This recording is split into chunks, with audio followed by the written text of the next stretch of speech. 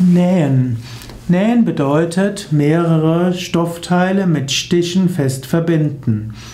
Man spricht auch davon, doppelt genäht hält besser. Das heißt, manchmal ist es klug, Dinge genauer zu fixieren und Menschen etwas mehrmals zu sagen.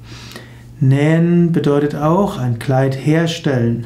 Nähen kann man auch, um das, was kaputt gegangen ist, wieder zusammenzubringen. Und es wäre wünschenswert, wenn Menschen heutzutage Kleidung, die abgenutzt ist, nicht gleich wegwerfen, sondern wieder die Kunst des Nähens lernen würden oder die, die Kleidung mit Löcher einem Näher, einer Näherin, einem Nähereibetrieb geben würden. Die Erde hat nur begrenzte Ressourcen. Man sollte nicht einfach alles vorschnell wegwerfen.